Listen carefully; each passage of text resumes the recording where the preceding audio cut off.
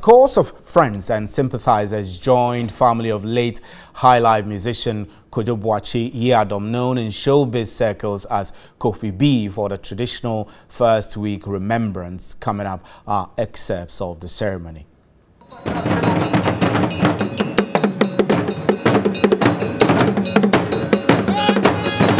Music enthusiasts, musicians, fans and friends of the late high life musician Kofi Boakye Yiadom gathered at Achimota, the temple, in Accra for the traditional first week remembrance ceremony.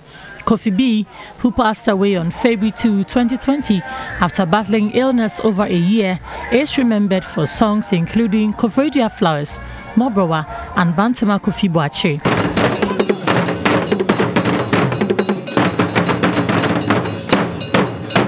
Musiga president Bessa Simons said Kofi B will forever be remembered for its originality.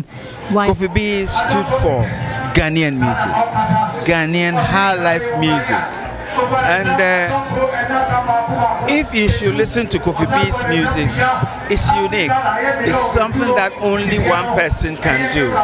And that is what we call high life music. The way Kofi B puts words together, only him can do it.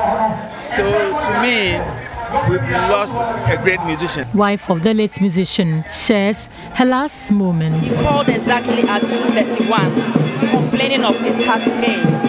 So I asked him if he had taken medicine, and he confessed yes, he has taken the medicine. In about 14 minutes time, I called him later. He said the pains was very severe, that he couldn't bear it. So I told him to contact Kofi Inti, so he would take him to hospital. And from there, I didn't hear from him. That was the last talk. He only said, Mama, pray for me, and that I'm not feeling well. That was the last of fun. He's a lovely person. That's all I can say.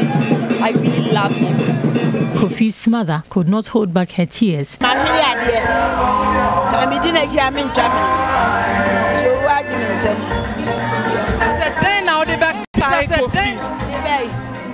deɛ mede bɛka no deɛ so ani tua mewerɛ mfiri ne da because ne din da bi mɛte na ɛdɛn na mewerɛ fi mɛte ne din da